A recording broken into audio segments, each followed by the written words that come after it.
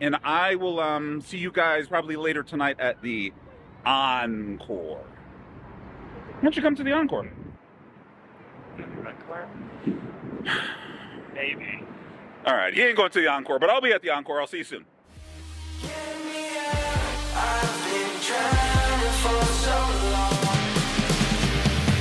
It's a lovely day, I feel insane.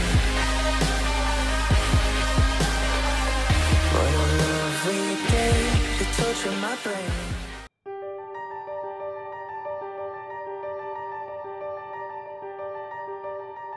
With both the session at the Bellagio and dinner behind us, we open the Bravo Live app, see that the Encore has two games of 5, 10, 20 running, call the poker room and get on the list, then jump in the car and head that way.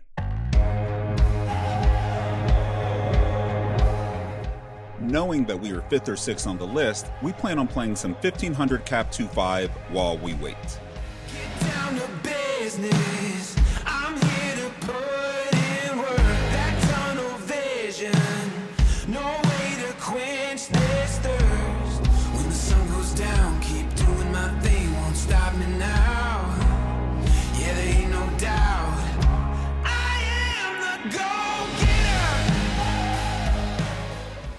And we don't have to wait too long. Less than an orbit in before we pick up our first real playable hand Pocket Jacks in the small blind. With five limpers in front of us, yeah, five limpers. We make it $45 to go. Everyone folds except the button, which is a little strange. You'd think that if her hand was strong enough to call a raise from one of the tightest opening spots on the table, then she would have just raised herself when three people had limped in front of her. But whatever. She shoots me a mean glance that's giving, you aren't going to bully me vibes, and calls the $45 off her $300 stack. I continue for $65 on the 6 Deuce 3 Rainbow board, and she wastes very little time before shoving her remaining $287 into the middle. To which I insta call, obviously. The board run out of Queen of Diamonds, Ace of Clubs isn't my favorite, but what am I going to do? My money is already in the middle. She tables pocket nines, sees my jacks, and returns to her purse for more money as the pot is being pushed my way. We're off to a good start.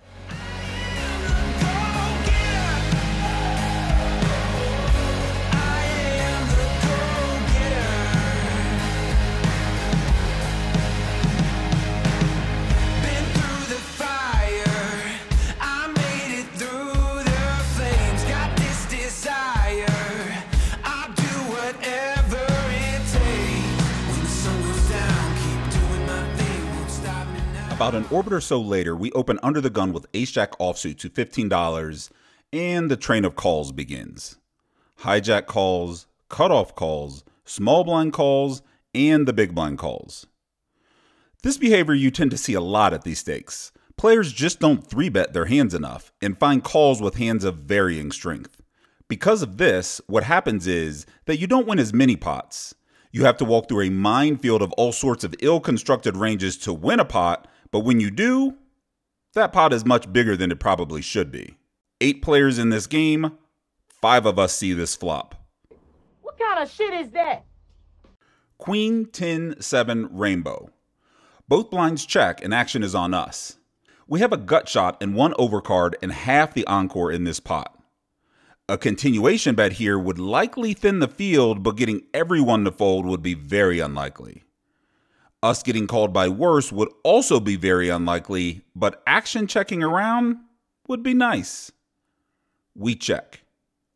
The hijack doesn't concur. He bets $45. The cutoff and small blind fold. The big blind with her fresh short buy in calls, and now with these odds and a gut shot to the nuts, we call as well. The turn five of clubs doesn't improve me in the least.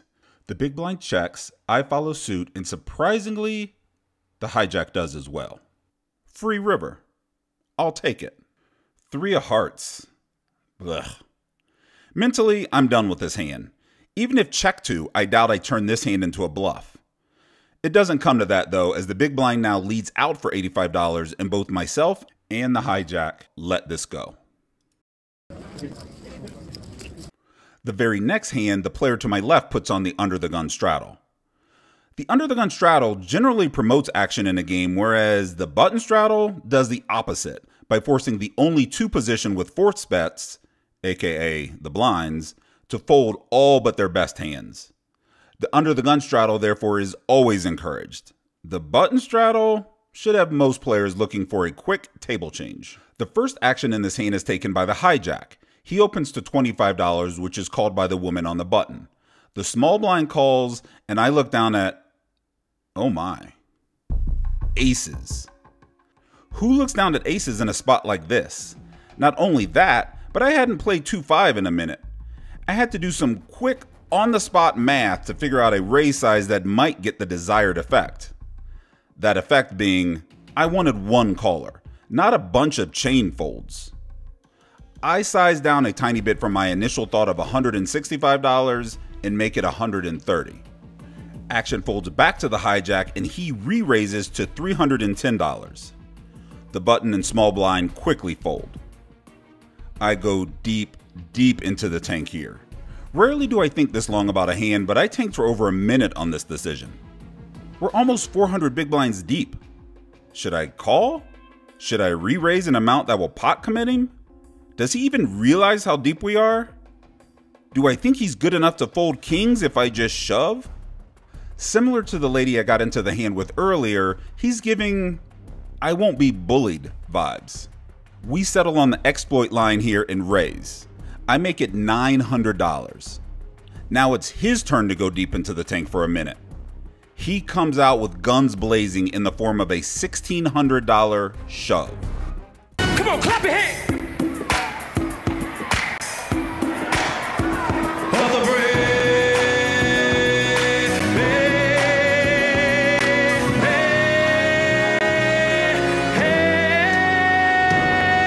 Needless to say, I call.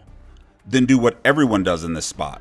I chant, no king, no king, no king, repeatedly in my head about 37 times. He doesn't have to show me. I know he has kings. Jack of spades, seven of clubs, four of spades. So far, so good. He exposes his kings at this point. Deuce of clubs. Come on, baby. Hold. Queen of clubs. We hold and double up about 20 minutes into this 2 5 game.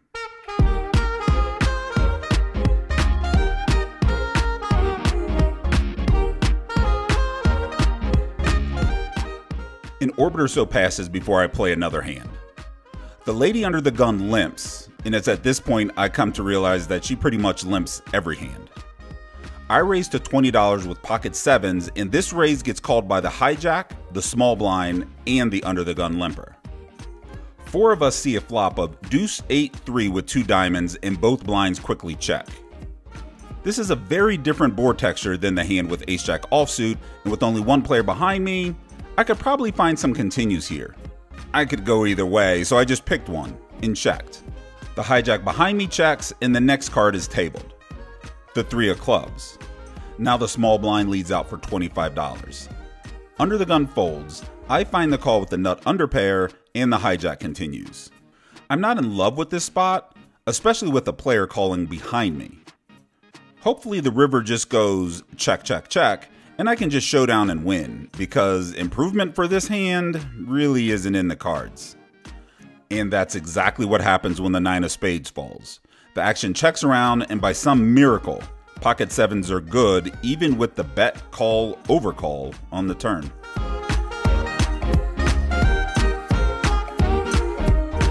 The very next hand, we look down at jacks again from early position and open to $15. Another train of calls ensues. Low jack, cutoff, and the big blind all get into the mix.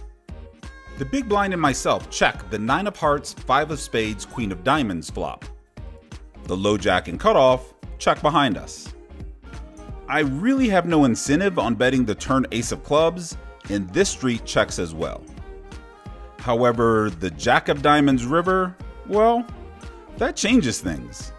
The big blind now leads out for $20 and I quickly raise to $80. Low jack and cutoff fold and the big blind tanks before calling. I table my hand and she frustratingly throws her hand in the muck. She then asked me if I wanted to change seats. I declined the offer. She follows that by saying that she thought that my insane poker prowess would save me even in a bad seat.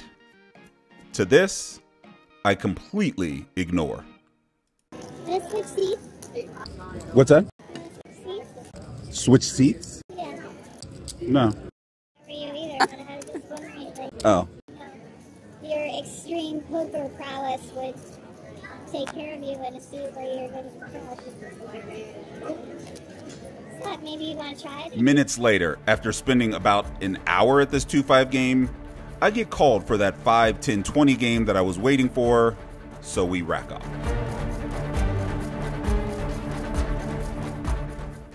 There were two 5 10 20 games going a must move and a main game. I don't have any footage from the must move game as I wasn't quite sure if I was going to vlog it or not. I did flop a monster hand at the must move, and I speak about that and the reason why I didn't vlog the game during the mid session update, which is coming up next, by the way.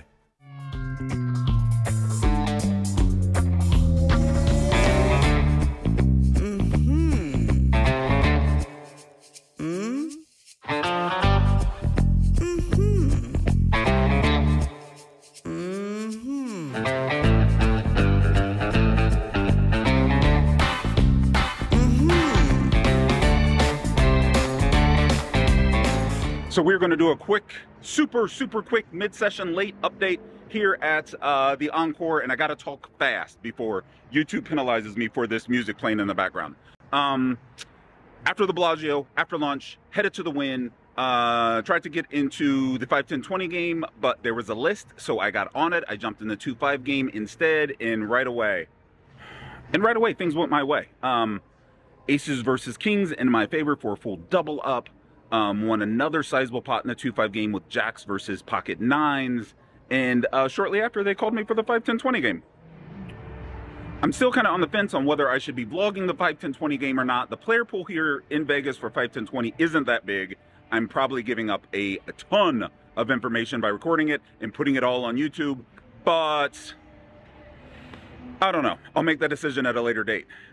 So, far tonight, I didn't vlog my time at the must move game. And in the must move game, third hand in, your boy, that's me, picked up pocket fours, saw a flop of nine, four, four, four ways, and won um, a sizable pot. In fact, I doubled up. I doubled up in that hand. So shortly after that, they moved me to the main game. The main game isn't nearly as good as the must move. And since arriving at the main game, I think I'm down about 100 bucks. So good session at the Bellagio, good session at 2-5 Aria, and so far a great session at uh, 5-10-20. So we're gonna hang out, we're gonna hang out in the main game, we're gonna see if it gets any better, and that's your update. Wasn't as quick as I thought it would be. Back in the day, moving from 1-3 to 2-5 was scary. From afar, the players seemed much better and advanced. The pots seemed huge. I soon found out that the players weren't better or advanced. Then moving from 2-5 to 5-10, same thing. Same feeling. I felt a bit lost when it came to bet sizing and seeing four and five hundred dollar turn bets insane. So sitting down in this 5 10 20 game, I'm not yet comfortable. The first hand I see as I'm moving my chips from must move to main game is a turn check followed by a $1600 bet followed by a check raise to 4000 and a call. Um this is the turn, you guys. So bear with me here. It's going to be a bit before my comfort level reaches home game status. That being said, I know better than to sit down at any game as scared money. The money in front of me is always in play. Always.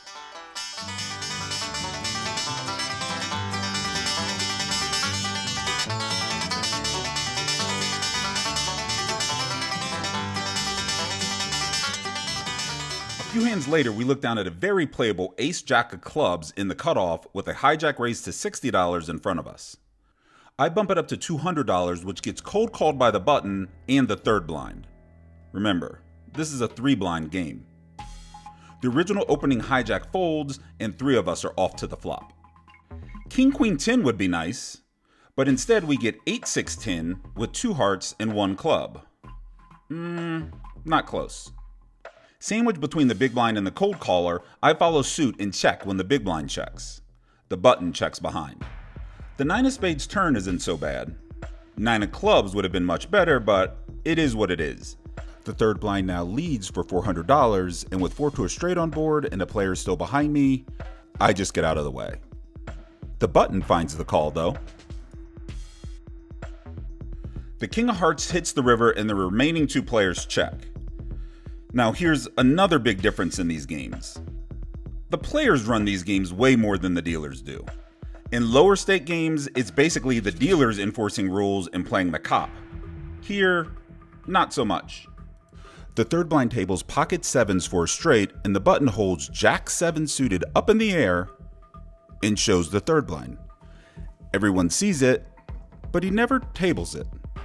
The dealer begins naturally pushing the pot to the third blind as he has the only tabled hand.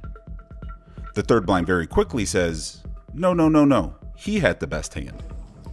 What? I showed him already. I showed him like Yeah, Jack 7. Jack Seven. So man, the, table, the, the hand was in table, you telling me to push the pot, I pushing the pot. Yes, I showed him already. The dealer then says, The hand wasn't tabled, but if you tell me to push him the pot, I'll push him the pot. He pushes the button the pot, and we continue to the next hand. As many of you can attest, this would never happen at a lower stakes game. Like, ever.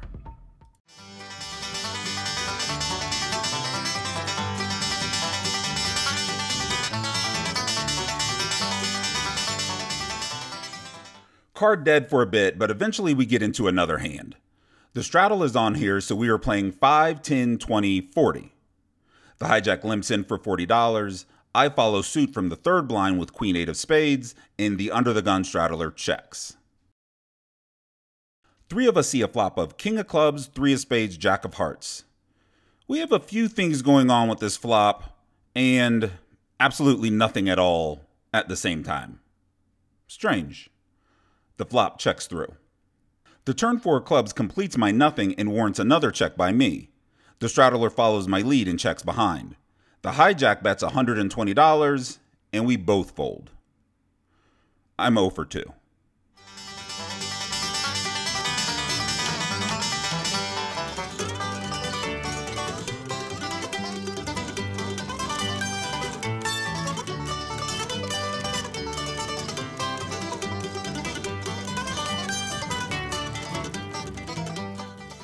A lot of hands of nothing for a while until I pick up Ace Queen of Diamonds under the gun and open to $50. The small blind, or first blind, calls, and the third blind calls, so there are three of us to this flop. Ace, Jack, King with two diamonds.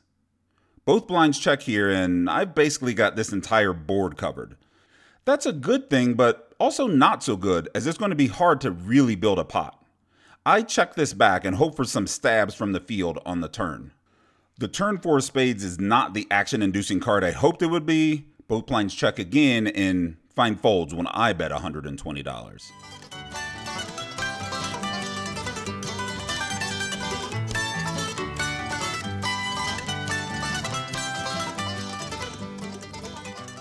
Honestly, I was feeling more comfortable at these stakes a lot faster than I thought I would be. Here, the first blind folds, and I just complete from the second blind. The third blind checks his option. I lead out with purely a gut shot on a flop of six of diamonds, queen of hearts, jack of spades, and the third blind just folds. I spent a few hours in this 5 10 20 game. This game, coupled with its local 2 5 counterpart and a morning of Bellagio 510, and not to mention that Korean barbecue still working its way through my system, I was getting tired. It was time to just head out.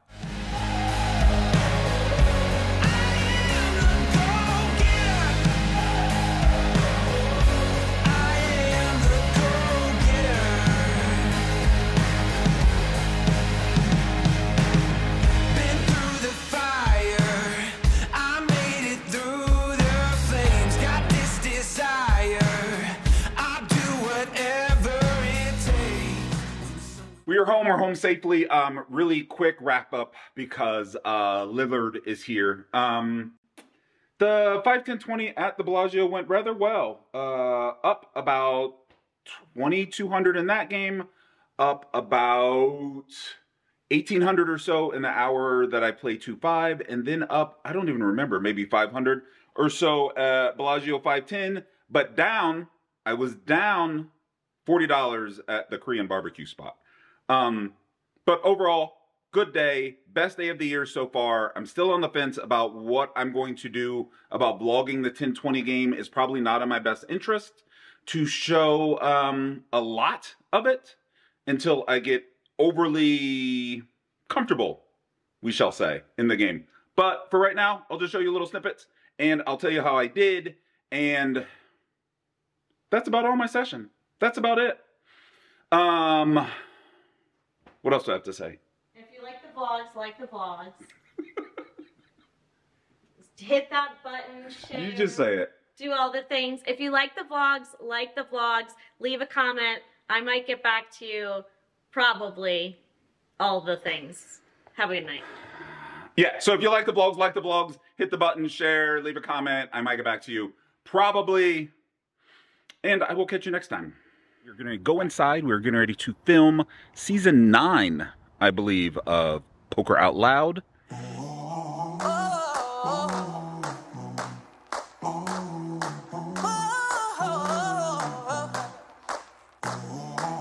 Burning bad, feet don't touch ground. Can't see us coming, lightning striking down.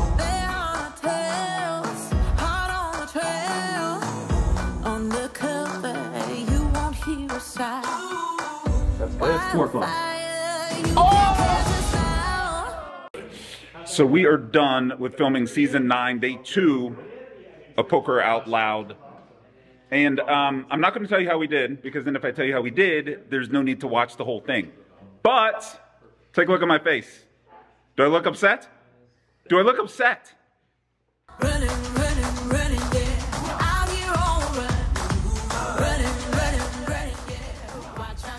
We have 10 big ones. We need to build it. Lily is playing a. What are you playing? Circuit event? She's playing an online circuit event, and we'll probably get going after that. When you see me making this walk, is for one of two reasons. Either I'm doing the mid-session update, or the session is over.